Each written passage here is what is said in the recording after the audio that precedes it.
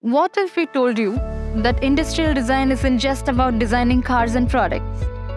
Industrial design involves designing jewelry, toys, products, automobiles, accessories, furniture, and many more.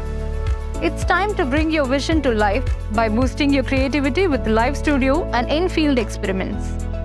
There are no constraints to be bound by to explore your design abilities.